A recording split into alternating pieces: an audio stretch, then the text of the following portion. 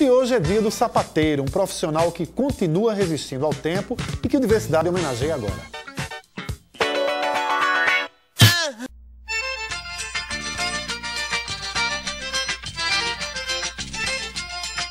Pelas ruas ou calçadas, em quartinhos minúsculos ou apenas nas entradas de estabelecimentos comerciais, estão os responsáveis por cuidar de nossos pés, consertando ou criando calçados que nos tragam conforto para o dia a dia.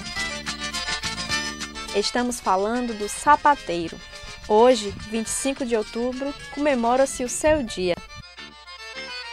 Eu comecei com 7 anos de idade e ajudante até hoje. Comprei duas latinhas de gás e entrei. De casa em casa. De casa em casa. Esse tipo era bonzinho para se ganhar dinheiro. Desde criança. É, desde a do meu pai, a profissão. E até hoje é, estou nela e não pretendo deixar não. Comecei trabalhando como empregado mesmo, nesse mesmo setor praticamente. Mas daí por diante, que a gente foi trabalhando, a partir de três anos para cá foi que a gente assumiu aqui como nosso. Homens que trabalham desde a infância, por necessidade ou gosto no ofício. Uma arte nem sempre fácil, podendo se tornar um desafio superado a cada dia. Antigamente já foi bom, como se diz no, no popular mesmo, já foi muito bom o ramo. Uhum. Mas hoje em dia não, hoje em dia está mais precário, porque além do, da, da, fabricação tá, ter muitos, e está saindo em conta muito mais barato uh, para a indústria do que para a gente. Era mais difícil, né? Porque o, o maquinário era, quase não existia. E hoje, com a tecnologia avançada, ficou tudo mais fácil para nós. O sol já começa a raiar e eles já estão no seu trabalho diário. Eu, eu chego aqui às seis da manhã, seis e meia, e logo ao começar, primeiro é, a gente separa o que tem para fazer para o dia de hoje e vai chegando, vai chegando e a gente é, tenta concluir o que separou de manhã. Aqui a gente costura, cola, é, é, bota salto, ponte, faz tudo. Sola, faz tudo.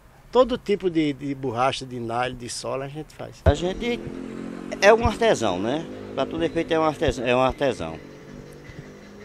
Porque a gente, no caso, a gente não. Quando se fazia, que praticamente hoje é mais indústria para fazer, mas a gente se pegava o que? Pegava do, do, começo ao fim do sapato, pegava da peça de couro para deixar ele pronto. Um, um trabalho praticamente artesanal. Para cada dia, mais uma história a se contar e um amigo que se adquire durante a profissão. Eu lembro de uma que a mulher deu umas 15 viagens aqui na oficina e a gente nunca achava. Quando foi depois, é, depois de tirar até os troços para fora, estava o sapato num canto que a gente pegava nele toda vez e não sabia qual era o sapato. Mas ela conseguiu? Conseguiu, conseguiu, devolvi e deu tudo certo. E tem muitas histórias de pessoas que dizem, eu vou já ali, faça que eu, olha, o meu vem buscar e não vem mais. o ofício do sapateiro é um trabalho antigo, repassado através dos ensinamentos do profissional ao aprendiz. Seu Tida aprendeu ainda jovem com o pai e hoje já repassa seu conhecimento. O meu filho, ele é, trabalhou em muitas é, indústrias, mas ele achou melhor optar pela profissão. E hoje ele está bem, né? vive disso aqui, é casado, tem uma filha, mantém a casa e a família com esse trabalho. E nunca falta não, Deus é muito bom.